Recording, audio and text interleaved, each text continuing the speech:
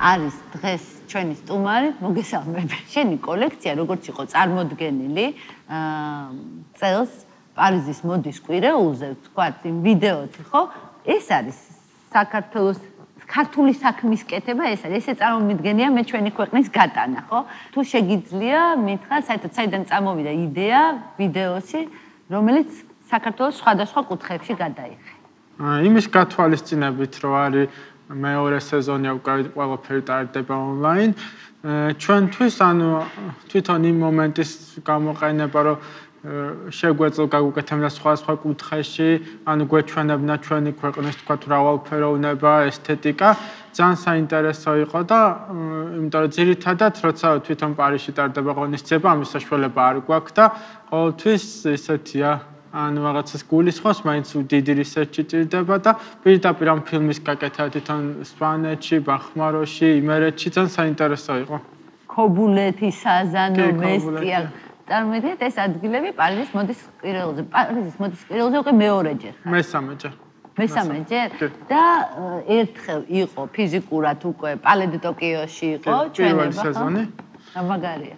ხო, შემდეგ იყო ონლაინ, ისევ გავაკეთეთ მიმდებარე ტერიტორიაზე ჩვენ სახელოსნოა, იმიტომ რომ ძალიან დიდი გავლენა მოახდინა იმ მომენტში ჩვენ კოლექციაზე, იმ სიტუაციამ ადამიანებმა და იდეა თვითონ ემსახურებოდა იმ ადამიანების რეაქციას, ვინც პირველად ნახა ჩვენი კოლექცია ესე პირდაპირ ქუჩაში. და ანუ ყველაფერი იყო დადგმის გარეშე და იმ ესთეტიკაზე, რაც ჩვენ თქვათ ვაჩვენეთ და როგორი რეაქცია ქონდა სოქს მოწონდა სოქს ნაკლებად მოწონდა ზოგისთვის რაღაც უცხო იყო ზოგისთვის მოსაწყენი შეიძლება. ჰერები არ არის ესეთი ინტენსიური არა შენს კოლექციებში ხო, ან ძალიან ფართო პალიტრას არ ვაკეთებთ ხომ და ბრენდის ესთეტიკა რაღაც ესეთია, ესე გავყევით, მაგრამ ხანდახან არის რაღაც გადახვევები სეზონის მიხედვით, რაც შეიძლება ხასიათი შეგვეცვალოს, ან რაღაცა ინსპირაციის მიხედვით, რაღაც კონკრეტული პალიტრას ყოველთვის ვარჩევთ. აი მე დღეს ტყავი შენი შენს გამოჩავიცი, იმიტომ რომ ვიცი რომ ტყავი შენთვის ძალიან ნატურალური ტყავი ძალიან მნიშვნელოვანი. მე თვითონ გავაკეთე ეს კაბა. ესე შეგიძლია მომავალში შენ გუნდში მივიღო.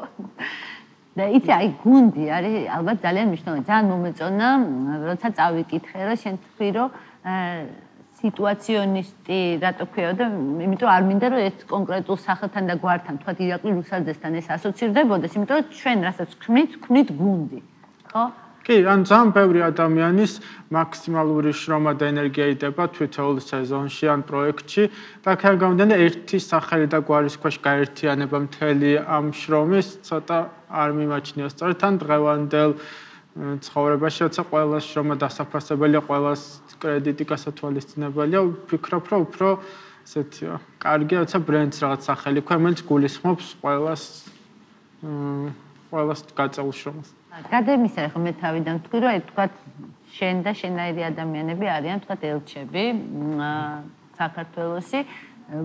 ასე ვფიქრობ რომ აი თქვენი ელჩი უკვე ის ვინც პირველი გადადგეს ნაბიჯი ალბათ დემნა გვასალია იყო და მისმა პოპულარობა მოიტანა უკვე საქართველოსი დაინტერესება არა? და ასევე მესედეს ბენცის მოდის კვირეული რომელიც რომლის საქართველოს ჩატარების მერე უკვე მართლა სოფლიოს ძალიან ბევრი ჟურნალისტი, ბაიერი დაინტერესდა ჩვენით, არა? კი, ანუ Mercedes-ის მოდის კვირაული, კარგი გაგებით დავნაშავია, რომ თქვათ ქართველი დიზაინერები იციან, იცნობენ, თქვათ ინტერესი აქვს. ძალიან ბევრი საკმაოდ მნიშვნელოვანი ადამიანი ამ პერიოდში ეწვია საქართველოს, ანუ პირადად ნახა როგორ მუშაობენ, როგორ მიდიან წინ, თქვათ სეზონიდან სეზონამდე როგორ ვითარდებიან. თვითონ მუშაობის სტილიზაციაც, ასე ვთქვათ, ცოტა ახალი იყო. ეს რაღაც მოდა ჩვენი ქვეყნისთვის არის რაღაც ისტორიული სფერო, რაც ანუ Mercedes-თან ერთად განვითარდა და რა თქმა უნდა, დემდას წარმატებაც არის ყველაზე მნიშვნელოვანი, ალბათ ერთ-ერთი, რაც გვეხმარება ყველას. დიზაინერის გარდა კიდე სხვა პროფესიაში თუ წარმოგიდგენი, შეიძლება მომავალში მაინც თუ გიფიქრია. აი რაღაც ბევრი სფეროა მომიჯნავე რაც ძალიან მომწონს და მაინტერესებს. აი ჩემთვის დიზაინისავით საინტერესოა თვითონ თარგების კეთება, გამოჭრა. კიდე ძალიან მიყვარს სცენარები, აუცილებლად დავკავდებოდი სინა რაღაც ესე. შეიძლება ინტერიერზე მუშაობაც საინტერესო იყოს. მეც მგონია რომ ინტერესი ძალიან საინტერესოდ იმუშავებდი. და ნახოთ, ყველაფერი წინ არის და იცი რა მინდა, აი რა არის წინ? ეხლა ნახავთ, იმიტომ რომ რაღაცა მოვიფიქრე ესეთი კითხვების აი რამდენიმე კითხვა ბარათებით. მაგალითად ამოიღე რაღაც აი რა იქნება მომავალში, რომ ამოიღებ ბარათს ნახავთ აბა და ნახოთ აბა როგორ იქნება. თანამედროვე. იცი აუცილებლად გავლენას ახდენს და ყოველთვის უნდა იცოდე დღეს როცა არჩი ხარ მოდაში თუ მნიშვნელობა არ აქვს, რა ხდება თანამედროვე სოფლიოში, რა მოთხოვნილება, რა ემოცია, რა შეხედულება ხალხს. ალბათ ესეც ერთგვარი ტრენდია, რა ცხოვრებას არ ჩამორჩ.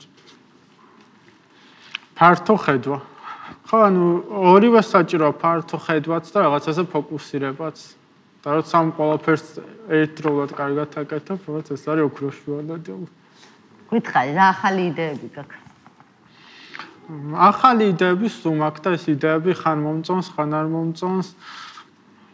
ხამ ეტაპზე ახალი იდეა უფრო ალბათ ისევ ჩვენ ბრენდთან ასოცირდება და რა ამ ეტაპზე ჩვენთვის მნიშვნელოვანია გუნდის გაზდა და ახალი კადრების შემოტევა.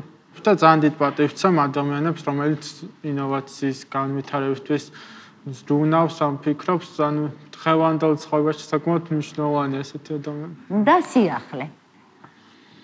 ჩემთვის ხა ძალიან დიდი სიახლე იყო და ძალიან სასწაუნო ეს გარემო, სადაც ვარ ძალიან ძალიან პოზიტიური სიახლე იყო.